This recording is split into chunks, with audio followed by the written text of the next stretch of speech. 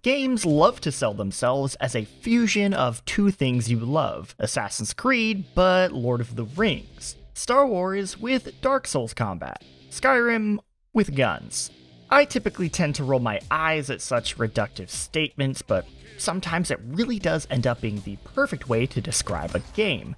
Such is the case with Splitgate, which sells itself as Halo meets Portal, and it's one of the few times I've gone, yeah, that is exactly what this game is, and also it's freaking awesome. Gain the lead. This free to play early access shooter has actually been around for over two years now, but recently it has taken the internet by storm, going from a peak player count of less than 1,000 back in June to over 67,000 at the time of this video and growing, thanks to its recent release on PlayStation and Xbox. Triple kill. In an age where the competitive shooter space is highly crowded and indie shooters don't really make much of an impression, this is impressive to say the least. It begs two questions though. What makes Splitgate so damn appealing? And should you play it? I can answer that last question with a resounding yes. Let's start with the Halo part of Halo meets Portal. Splitgate's gameplay is trying to capture a very, very specific part of the Halo multiplayer experience 4v4 arena matches. Sure, you got your Team Deathmatch and King of the Hill, staples of the FPS genre, but you might notice a couple of very Halo sounding game types like Oddball, Team SWAT, and of course, Shotty Snipers. Damn, can they like, can they do that? By using the exact same name, Splitgate is making it very clear what this game is gonna play like, which I would say is closest in feel to Halo Reach, but with a few key differences. Splitgate doesn't have equipment you pick like Reach does, and has made the sprint and jetpack of that game a standard part of your toolkit. There's also no loadouts, thank god, and instead you'll find timed weapon pickups on the map, many of which will feel familiar. I mean, come on, this is this battle rifle is just mwah. I could go on and on about the similarities, but what really matters here isn't that it just looks like Halo, but that it feels like Halo. It can be very difficult to put into words exactly what makes a particular shooter feel the way it does, unless you're Reykjavik.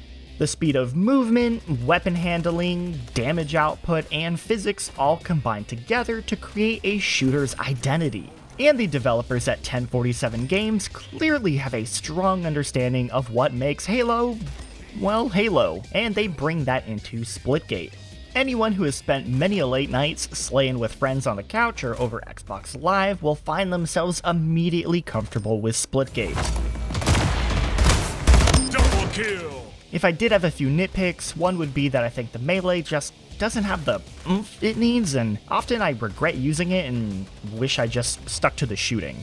There's also the grenades, which are completely different with their function only being to shut down enemy portals, doing no damage to players. Now, shutting down enemy portals is pretty cool, but I do find myself missing some good old fashioned fragging. Now, I've just spent all this time talking about how this game does an excellent job of mimicking Halo. But then, why not just go play Halo? I hear they have a new one coming out this year. Also, don't people usually look down on a game that just copies another? Well, unlike Call of Duty, which has been copied to death over the years, no one in my eyes has quite nailed Halo's specific game feel this directly. Because 1047 Games is a small indie staff and not burdened with the massive legacy of expectations and fan demands that come with a long running series, this frees them up to get weird and experimental with it, which is the perfect segue into the other half of Halo meets Portal. Indeed, every player has unlimited access to their own personal set of portals that can be placed on portal approved surfaces. This simple addition opens up a wealth of possibilities. You can pull off some pretty clever maneuvers, like running away from an opponent and then getting a surprise flank, engaging in a long distance firefight, put a portal behind him and shoot him in the back. I mean, when you can set up a sniper perch using portals and do shit like this, the potential of the mechanic speaks for itself.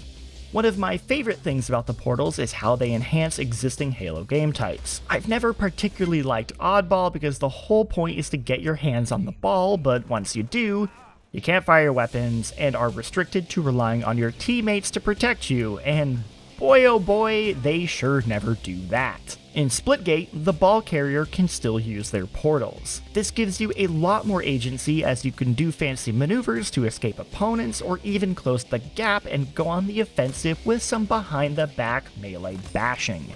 Some of the most fun I've had with Splitgate so far is when I've been the ball carrier, something I have never said when playing Halo. Now you might be saying to yourself, wow, this looks amazing, but also seems like giving everyone a portal gun would be too chaotic and a balancing nightmare. But it kinda just works, like, really well. The slower pace of a Halo-style shooter, limiting matches to 8 players, and well thought out map design keeps matches from becoming a mess of portal nonsense. And because the fundamentals of the game are so good, you can start off playing Splitgate just like a traditional shooter and still do well and have fun, taking your time to get used to the portals. But once you start thinking with portals, I'm so sorry that was terrible, you begin to see the depth they can bring. If this all sounds awesome to you, well, then you really have no excuse not to play Splitgate, as it is free to play. It does come with the now traditional free to play trappings you'd expect, and probably have your own opinion on at this point. Battle Pass, rotating storefront, etc. Thankfully, none of that stuff affects the gameplay, and I personally haven't felt any desire to engage with it, but it is there. There's also crossplay between all three platforms, which is a great sign for the long-term health of the player base.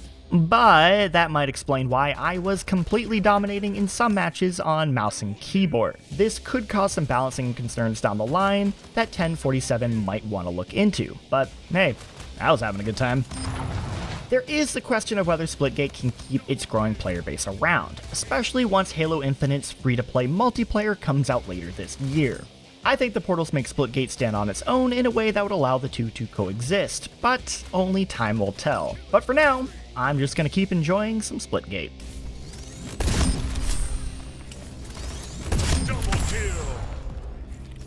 Also, I'm just going to say it, I really think there is a missed opportunity for this game to be called Portal Combat. Okay, okay, fine, I'm ending the video. Game over.